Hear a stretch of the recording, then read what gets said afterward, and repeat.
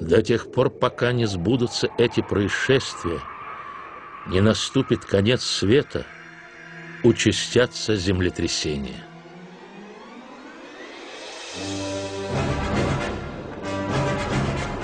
Пожалуй, ни одно из стихийных бедствий не сможет сравниться с землетрясением по разрушительности и воздействию на человечество.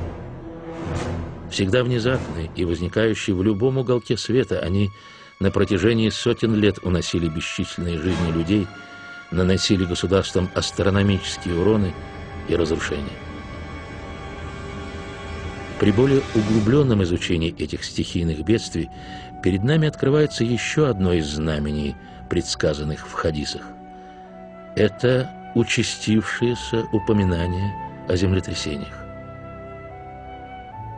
По данным Американского национального информационного центра сейсмологии, в 1999 году на Земле произошло 20 832 землетрясения, в результате которых погибли десятки тысяч человек. Эта цифра по сравнению со всеми прошлыми годами показывает резкий рост природных катаклизмов. Количество и масштабы бед, приносимых во время подобных явлений, еще раз подтверждают истинность слов Хадиса о знамениях последнего времени, сказанные 1400 лет назад.